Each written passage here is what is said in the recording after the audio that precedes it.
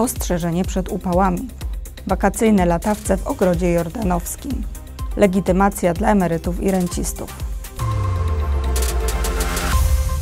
Dzień dobry, dzisiaj czwartek, 11 dzień lipca. Beata Badura, zapraszam Państwa na dzisiejsze wydanie wiadomości raciborskich. Początek lata rozpieszcza nas upałami. Wysokie temperatury to jedno z wakacyjnych marzeń, ale mogą one być również niebezpieczne dla naszego zdrowia i życia, zwłaszcza jeśli nie przestrzegamy ważnych zasad. Od 11 do 13 lipca do godziny 20.30 wydano ostrzeżenie przed wystąpieniem upału drugiego stopnia. Instytut Meteorologii i Gospodarki Wodnej przestrzega przed wysokimi temperaturami, m.in. na terenie powiatu raciborskiego. W mieście dodatkowo temperatura powietrza może być nieco wyższa ze względu na ilość bruku oraz mniej zieleni i drzew niż poza miastem. Zbyt długie spędzanie czasu w słońcu lub rozgrzanym miejscu może prowadzić do udaru. Aby skutecznie chronić nasz organizm przed niekorzystnym działaniem wysokich temperatur powinniśmy m.in. rozważnie spędzać czas na zewnątrz oraz wewnątrz pomieszczeń i pojazdów zadbać o utrzymanie chłodniejszego powietrza. W pomieszczeniach bez klimatyzacji najlepiej zabezpieczyć okna i drzwi przed promieniami słonecznymi, m.in. roletami lub żaluzjami. W upalne dni nie wolno zostawiać w samochodzie dzieci i zwierząt ani materiałów łatwopalnych. Podczas przebywania na zewnątrz należy ograniczyć do minimum przebywanie na słońcu, chroniąc się w miejscach zacienionych i jeśli to możliwe w pobliżu wody, która która schładza powietrze oraz organizm, przykład przy fontannie, ekranach wodnych. W upalne dni można spędzić czas wolny również na kąpieliskach, pamiętając o odpowiednim zabezpieczeniu skóry kremami z filtrem. Nadmierne opalanie powoduje przyspieszone starzenie się skóry, co przyspiesza rozwój niektórych nowotworów i może skończyć się poparzeniem. Należy odpowiednio nawodnić swój organizm, regularnie pijąc duże ilości wody oraz uzupełniać elektrolity. Jeśli we właściwym momencie nie uzupełni się zapasu elektrolitów, mogą pojawić się skóry skurcze kończyn, intensywne wymioty i może nastąpić utrata świadomości. Również ubranie powinno być lekkie i przewiewne o jasnych kolorach. Dodatkowo powinniśmy zadbać o odpowiednie nakrycie głowy, które chroni przed promieniami słonecznymi naszą skórę. Nadmiar słońca oznacza poparzenie, odwodnienie lub udar. Konieczna może być wtedy profesjonalna pomoc medyczna. W niektórych przypadkach brak pomocy może skończyć się śmiercią. Natychmiastowej pomocy lekarza wymagają objawy takie jak zmęczenie, silne bóle i zawroty głowy, nudności, gorączka, szum w uszach, drgawki oraz wzrost temperatury ciała zagrażający życiu. Niestety dominacja gorącego powietrza często idzie w parze z występowaniem opadów i burz, które mogą być gwałtowne. Zabezpieczmy się odpowiednio przed letnimi zjawiskami atmosferycznymi, aby ta najcieplejsza pora roku była dla nas bezpieczna i mogliśmy się z niej cieszyć, zachowując tylko miłe wspomnienia. Kolejne zajęcia w ramach Lato w mieście organizowane przez Ośrodek Sportu i Rekreacji w Raciborzu odbyły się w Ogródku Jordanowskim. Raciborskie placówki miejskie organizujące zajęcia letnie dla dzieci i młodzieży zapewniają różnorodne atrakcje. W ramach przygotowanych spotkań przez Ośrodek Sportu i Rekreacji dzieci kreatywnie spędziły ten czas na tworzeniu własnych latających obiektów. Dzisiaj spotkaliśmy się w Ogródku Jordanowskim na warsztatach y, robienia, tworzenia latawców, a później również będziemy z górki je puszczać.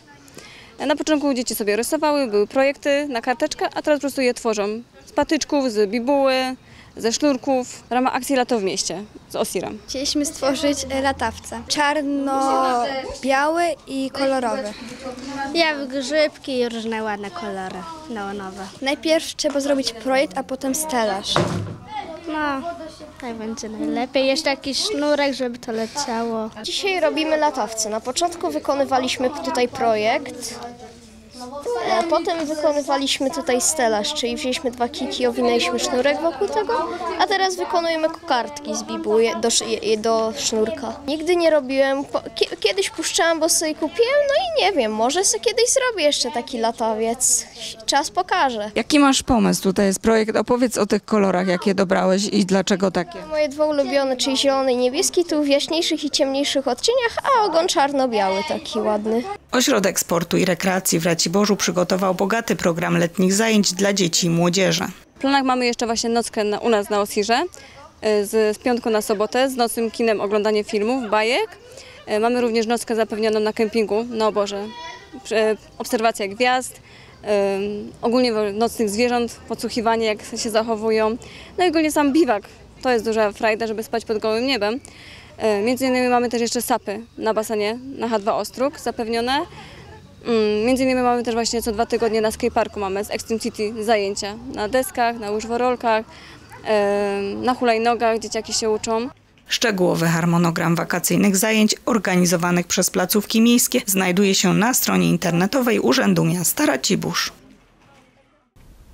Od 2023 roku Zakład Ubezpieczeń Społecznych wydaje swoim świadczeniobiorcom elektroniczne legitymacje emeryta rencisty. Z M-legitymacji korzysta już 773 tysiące osób. Elektroniczna M-legitymacja Zakładu Ubezpieczeń Społecznych to duże ułatwienie dla emerytów. Można z niej korzystać na własnym urządzeniu mobilnym, na przykład telefonie i nie trzeba nosić przy sobie karty plastikowej. Okazując M-legitymację na ekranie smartfonu, emeryt czy rencista potwierdza, że jest uprawniony do świadczeń zdrowotnych i przysługujących mu ulg oraz zniżek, np. na bilety komunikacyjne.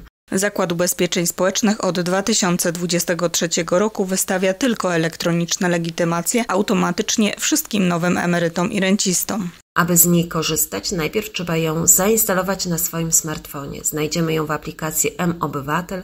Po zalogowaniu należy kliknąć opcję Dodaj dokument i wybrać z listy dokumentów legitymacja emeryta rencisty. Od tej pory na pulpicie aplikacji będzie widoczna ikonka M-legitymacji. Jeśli wcześniej nie dodaliśmy w aplikacji M-Obywatel dowodu osobistego, to najpierw musimy potwierdzić swoją tożsamość, czyli dołączyć dowód osobisty, a następnie dodać legitymację emeryta rencisty. Elektroniczne legitymacje automatycznie przyznawane są dla nowych emerytów czy rencistów, ale nic nie stoi na przeszkodzie, by taki elektroniczny dokument posiadał także świadczeniobiorca, który posiada plastikową legitymację. Sposób pobrania jest taki sam, czyli swoją M-legitymację znajdziemy w aplikacji M-Obywatel. Klienci mogą korzystać z obu wersji legitymacji, zarówno tradycyjnej, czyli tej plastikowej, jak i z jej elektronicznej wersji. Dotychczasowa legitymacja w formie plastikowej karty jest aktualna zgodnie z terminem jej ważności. Jeśli emeryt lub rencista, któremu wydana została tylko elektroniczna wersja legitymacji, chce posługiwać się tradycyjną plastikową kartą, może złożyć do ZUS-u wniosek o jej wydanie. Bo dobrze jest się dzielić. Bo dla mnie to chwila, dla kogoś całe życie. Bo tętni w nas dobro. Jest wiele powodów, by oddawać krew. Zostań honorowym dawcą krwi i zachęć do tego innych. Podaj dalej czerwoną nitkę życia. Więcej na twojakrew.pl Las. Środowisko bytowania roślin i zwierząt. Fabryka tlenu. Filtr powietrza. Magazyn wody. Ochrona gleb. Miejsce wypoczynku. Źródło drewna. Wystarczy chwila, aby to wszystko unicestwić. Rzucony bezmyślnie niedopałek, pozostawione niedogaszone ognisko, wypalanie traw, podpalenie to najczęstsze przyczyny pożarów lasów. Nie bądź samobójcą, nie niszcz świata, w którym żyjesz.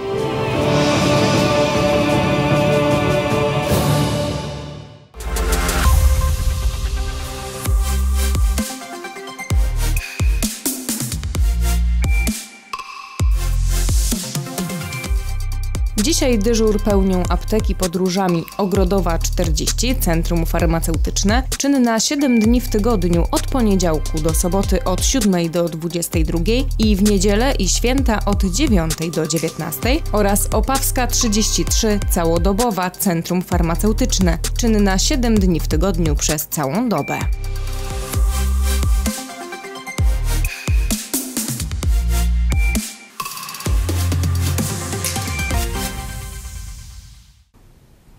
To wszystko w dzisiejszym wydaniu Wiadomości Raciborskich. Serdecznie zapraszam na Wiadomości dla osób niesłyszących. Życzę pogodnego